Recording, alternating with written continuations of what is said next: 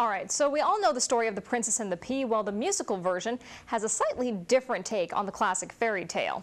Well, as a matter of fact, things get silly when the princess tries to find her true love through the tiny vegetable. And here to give us a preview of the musical is reporter Amity Idrisi, who is actually a princess herself today because it's her birthday. Aww. Yay, Good morning, princess. Good morning. Thank you. I actually wrote that for Dabs to say, uh, but I love it when you say it too.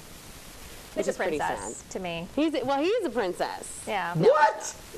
I'm kidding, Dabs. Jeez. You're a special king. Wow. Or prince, at least. This is getting weird. It is getting a little strange. All right, I'm going to move on. I'm going to move on now.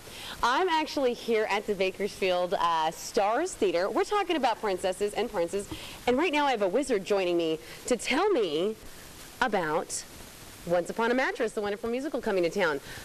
Wizard. Yes. How exciting is this musical? It is unbelievably exciting. We have princes and princesses and a king that can't talk, but a queen that can. Uh, probably talks a little bit too much, but the pea is the secret. The pea is the secret. Yes. All right. Well, let's uh, let's get off stage okay. and let them show us what they got.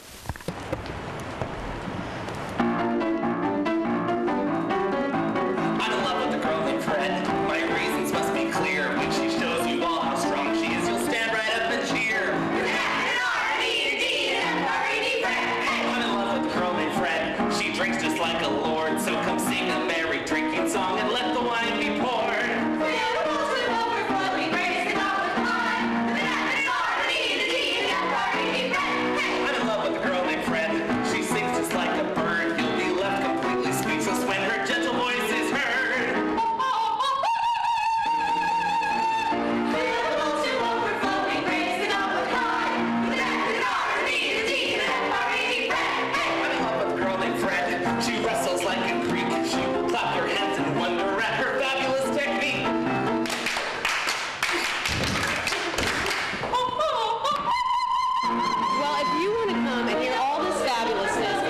come down to the Stars Theater. The performances are Thursday, Friday, and Saturday night.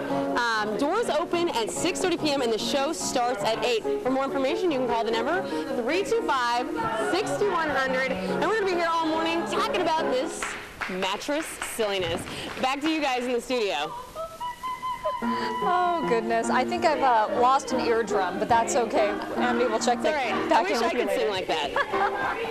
Thanks, Amity. Oh. Take this out. How's how's your ear doing, buddy? Ooh, man. Is that, a, is that called a falsetto? Um, something. Wow. Right. Loud noises.